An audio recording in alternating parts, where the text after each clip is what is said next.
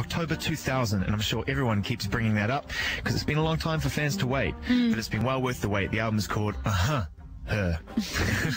That's my interpretation of it. Oh, that's a lovely interpretation, that one. It's nice to see you. Thanks for stopping by. Oh, no problem. All right. Um, the only inconsistent uh, consistency I should say that I can ever identify uh, throughout each album of yours is that you seem to approach each one very differently and deliberately so. Um, how did you decide that you wanted to approach this new record? Did you give it any thought?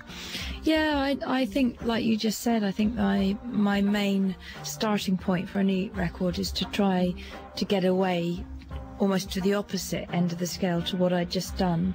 Um, and and also just to try not to repeat myself or other people. But you know, it, it gets harder as well. The, the more records I've done, the more likely I am to start repeating myself a bit. And There's only so many directions and moods you can approach. I know, I know, and so yeah, I knew I wanted to do something almost the opposite to stories, and the reason I do that with myself is primarily to try and keep finding new ground. I, I live in fear of ever just Treading water. treading the same ground over and over again. And Yeah. you see it happening to some artists, I think. And I, I really don't want that to happen. I want to keep sort of challenging myself. And You've certainly done that. And when I listened to the record, um, having listened to Stories, which I think is a very positive and uplifting album, uh, it sounds like you found freedom and you found some love and you found some, some sort of excitement there. And this record, to me, sounds very self-analytical. Like you've actually looked at your childhood or someone else's childhood. There's a quite a, um, a dark attitude towards love in there as well. Does that all sort of make sense to you? well, I- you know, I think that no album I've ever written is an autobiography of my life. um,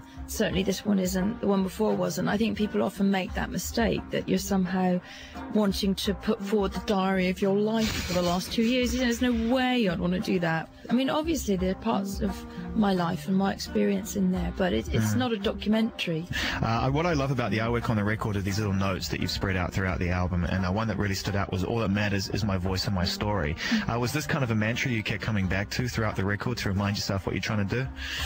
It was a, a baseline, if you like, of what uh, what I wanted to keep reminding myself, so as to stop getting too much getting in the way. I mean, you can hear that this record is a very minimal Oh, yeah, sounding record. There's very few elements to any song, and that was what I wanted to try and do. Is if if a song is working with just a guitar and a voice, or just the just the voice, then leave it. Why put anything else on? There's one song that really stands out to me on this record, and it is brilliant. Um, it is called "The Dangerous Kingdom of Love," and it really is it highlights what you were just talking about.